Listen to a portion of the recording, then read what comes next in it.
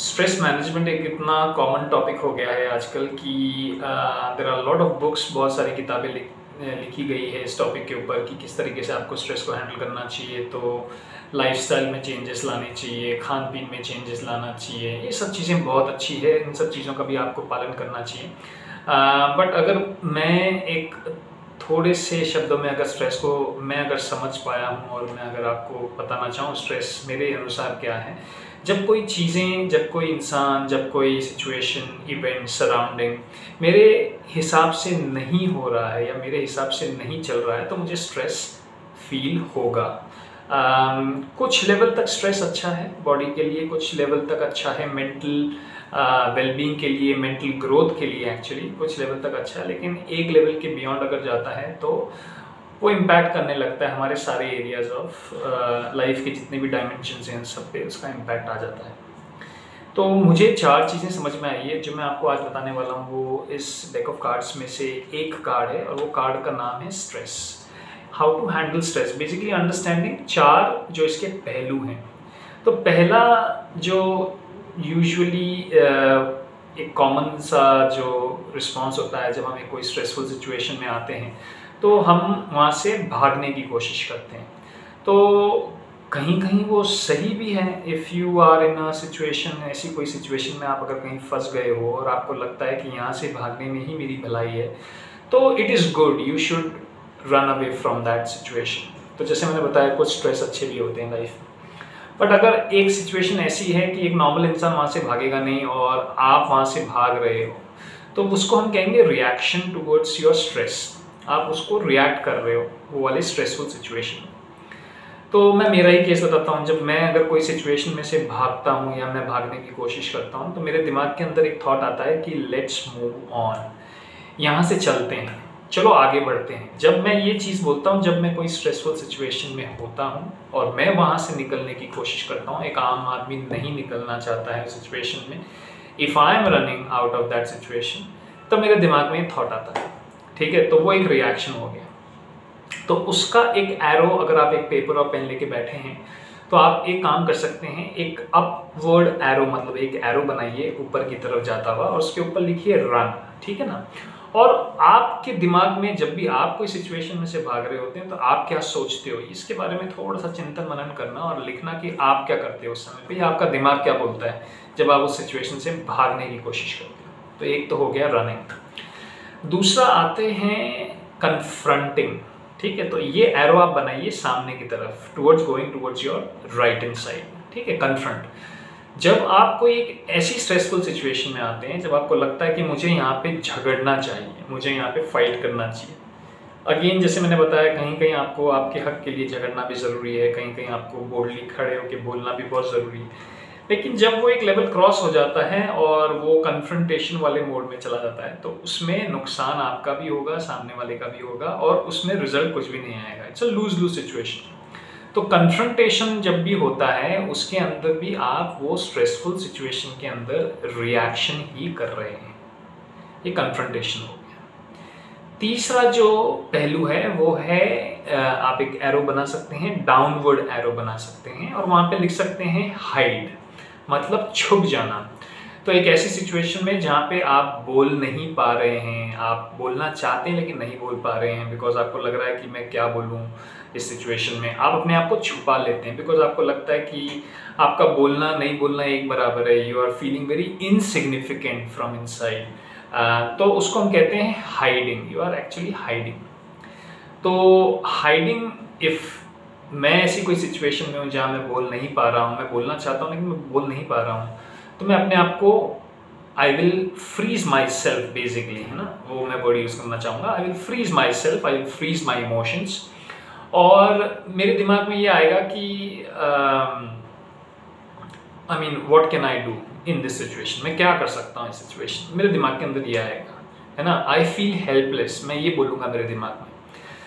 जबकि मैं कुछ कर सकता हूँ या कोई दूसरा इंसान होगा उस सिचुएशन में वो शायद कुछ कर पाएगा। लेकिन मैं बोल रहा हूँ कि आई एम फीलिंग हेल्पलेस तो ये हो गया हाइडिंग कन्फ्रंटेशन का भी क्यू वर्ड मैं आपको बता देता हूँ जो एरो सामने की तरफ़ जा रहा था कि you know how dare you मेरे दिमाग के अंदर ये आएगा कि यू you नो know, तुम्हारी हिम्मत कैसे हुई ये करने की? जब मेरे दिमाग में ये आता है तो again I am reacting in that stressful situation in a way to fight it out ठीक है ना? तो पहले वाले केस में जिसमें एरो ऊपर जा रहा है, उसमें मैं भाग रहा हूँ, ठीक है? दूसरे वाले एरो के अंदर मैं झगड़ रहा हूँ, जो सीधा सामने की तरफ़ जा रहा है राइट हैंड साइड तीसरे वाले एरो के अंदर मैं छुप रहा हूँ तो ये तीनों ही रिएक्शंस हैं। अब आता है फोर्थ एरो या चौथा पहलू, और उसको हम बोलते हैं बीइंग माइंडफुल ठीक है? बीइंग माइंडफुल ये हो गया कि आप एक स्टेप पीछे लेते हो लिटरली दिमाग के अंदर एक स्टेप पीछे हट के उस सिचुएशन को डिसकनेक्ट होके देखते हो कि उस सिचुएशन के अंदर हो क्या रहा है एक्चुअली ये थोड़ा डिफ़िकल्ट है करना, लेकिन अगर आपने ये प्रैक्टिस में डालना चालू कर दिया तो चांसेस हैं कि आप रिएक्शन वाले मोड में से निकल के रिस्पॉन्स वाले मोड में आ जाएँगे। तो ये एरो आप इसमें अगर आप पेपर और पेन लेके बैठे हैं तो ये एरो को पीछे की तरफ़ बनाए, ठीक है ना? तो पीछे की तरफ़ बनाओगे तो दिमाग के अंदर क्या रजिस्टर हो जाएगा कि you are taking a step back from that situation and then you are witnessing what is happening उस स्ट्रेसफुल सिचुएशन को आप विटनेस कर रहे हो। जब आप विटनेस करते हो सिचुएशन को तो आपके दिमाग में अगर जैसे मेरे केस के अंदर when I say that I have a choice मेरे पास एक चॉइस है सिचुएशन जब मेरे दिमाग के अंदर ये आता है तो मेरा दिमाग ऑटोमेटिकली दो ऑप्शन ढूँढने पे लग जाएगा, क्योंकि चॉइस है ना तो मुझे दो ऑप्शन तो ढूँढने ही पड़ेंगे, मेरे दिमाग को दो ऑप्शन ढूंढ के देने पड़ेंगे।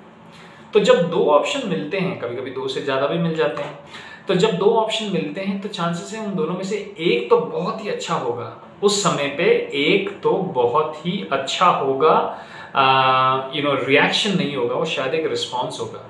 क्योंकि आपने आपके माइंड को एक छोटा सा पॉज दे दिया, एक इंटेलेक्चुअल पॉज दे दिया आ, उसको हम कहते हैं रिस्पॉन्स बिकॉज़ आप रिएक्ट नहीं कर रहे हो आप रिस्पॉन्ड कर रहे हो। तो एक इंटेलेक्चुअल पॉज ले लिया और आपने उस सिचुएशन को देखा और आपके दिमाग के अंदर आपने बोला आई गॉट अ चॉइस तो दिमाग दो चीज़ें ढूँढने की कोशिश कर रहा है और जब वो ढूंढ लेता है तो फिर उसका जो आप जिस तरीके से उसका रिस्पॉन्ड करते हैं चांसेस हैं कि आप वो स्ट्रेसफुल सिचुएशन में से ग्रेसफुली बाहर निकल पाएँगे। बहुत ही ग्रेसफुली बाहर निकल पाएँगे।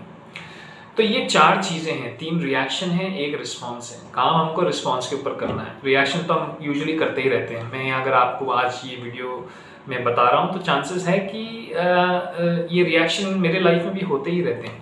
बट जब जब मैं इस कार्ड को देखता हूँ तो मुझे याद आता है कि नहीं नहीं, शायद इस रिएक्शन को मेरे को चेंज करने करना था रिस्पॉन्स की तरफ़। तो आप ये टेक्निक को अप्लाई कर सकते हैं। एक छोटा सा एग्ज़ाम्पल भी दे देता हूँ, अगर आपको एग्ज़ाम्पल से समझना है तो। बहुत सीधी एग्ज़ाम्पल है, मैं यूजुअली इसलिए एग्ज़ाम्पल ही देना चाहता हूँ ताकि तुरंत कनेक्ट हो जाओगे आप इससे, ठीक है? तो सपोज़ मैं एक गाड़ी चला रहा हूँ। मेरी ब्रांड न्यू कार है, मैं नई गाड़ी लेके आया हूँ, मैं गाड़ी चला के जा रहा हूँ और सामने से एक एक और कार आती है एंड एक्सीडेंट हो जाता है, ठीक है? तो पहला रिएक्शन क्या? कि मैं वो कार का दरवाज़ा खोल के गाड़ी चाबी अंदर ही है और मैं दरवाज़ा खोल के मैं भाग जाता हूँ। वो रनिंग वाला पार्ट ठीक है? So I am actually running away from that situation it is a stressful situation and I am running away from that अच्छा इसी सिचुएशन में दूसरा वाला पहलू क्या था? कन्फ्रंटेशन तो मैं दरवाज़ा खोलता हूँ, मैं बाहर निकलता हूँ और मैं जाके झगड़ा करता हूँ सामने वाले से कि तुम्हारी हिम्मत कैसे हुई? तुमने मेरी नई नई गाड़ी को आके टक्कर लगा दी। तुम्हारी ये हिम्मत कैसे हुई? तुम्हारी ये ज़रूरत कैसे हुई? एक्सेट्रा एक्सेट्रा और सारे शब्द बोलना चालू कर देता हूँ। ये कन्फ्रंटेशन वाला पार्ट है, ठीक है? और वो भी सामने से बोलना चालू कर देते हैं एक्सेट्रा एक्सेट्रा और वो झगड़ा बढ़ जाता है। तो as I said lose lose situation है। ठीक है थर्ड पहलू। तीसरा पहलू थोड़ा सा आपको फनी भी लगेगा सिली भी लगेगा लेकिन अगर ऐसी सिचुएशन होती है तो मैं उस गाड़ी के अंदर ही छुप जाता हूँ बिकॉज़ आई फील कि आई एम रियली हेल्पलेस मैं इस समय पे करूँ क्या? मैं छुप जाता हूँ। ठीक है? आ, मुझे लगता है कि सामने वाला बहुत ज़्यादा पावरफुल है और मैं कुछ भी नहीं कर पाऊँगा। I feel very insignificant I don't have the right resources तो I will just hide my self until some help comes तो वो भी रिएक्शन है। चौथा जो पहलू है, जिसमें हम एक स्टेप बैक लेके सिचुएशन को देखते हैं तो वो क्या हुआ कि अगर ऐसी कोई सिचुएशन आती है तो सबसे पहले just give your self a moment to think about कि बेसिकली हुआ क्या यहाँ पे। एक एक्सीडेंट हुआ है, ठीक है? एक्सीडेंट हुआ है, जैसे ही आप बोल, आपके दिमाग में ये आता है कि आप अ चॉइस हियर मेरे पास एक, कोई ना कोई एक चॉइस है इस सिचुएशन में। तो उस समय आपका दिमाग ये सोचने पे मजबूर हो जाता है कि इस सिचुएशन का सबसे बेहतरीन सोल्यूशन क्या हो सकता है? तो सबसे पहले आप दरवाज़ा खोल के देखेंगे कि कहीं किसी को चोट तो नहीं आई, कहीं खून तो नहीं बह रहा, कहीं किसी को वॉमिट तो नहीं हो रही, किसी को कुछ लगा तो नहीं, मैसेज तो नहीं लगा। अगर कुछ लगा है तो उसके ऊपर सबसे पहले आप एक्शन ले सकते हैं एंबुलेंस को बुला सकते हैं, कोई you know you seek help to get that sorted अगर ऐसा कुछ नहीं हुआ है तो then again you will think कि I got a choice in this case you know it can be easily resolve मैं जाके उनका जो नंबर है exchange exchange the details basically car के डिटेल्स इंश्योरेंस कंपनी के डिटेल्स हैं. This can be easily resolve तो ये सिचुएशन एक ही थी, लेकिन चार अलग अलग तरीके हैं इस सिचुएशन में से निकलने के। मैंने एक आपको एक छोटा सा एग्जांपल दिया है बट आपकी लाइफ में ऐसे बहुत सारे एग्जांपल्स आएँगे। कोशिश करना आप ये चार चीज़ों को अगर आप रिलेट कर सकें। अगर चार से ज़्यादा भी अगर आपको कुछ मिलता है तो please make sure you write it in the comments because हमेशा we are open to your feedback but मोटा मोटा मुझे ये चार समझ में आया है और होपफुली कोशिश यही करना कि वो तीन सिचुएशन में जहाँ तक हो, कम से कम रहो और जो चौथी सिचुएशन है stepping back and being mindful उसमें ज़्यादा से ज़्यादा रहने की कोशिश करना। बस इसी के साथ मैं ये वीडियो ख़त्म करना चाहता हूँ एंड आई होप आपको इसमें से कुछ ना कुछ प्राप्त हुआ होगा। Thank you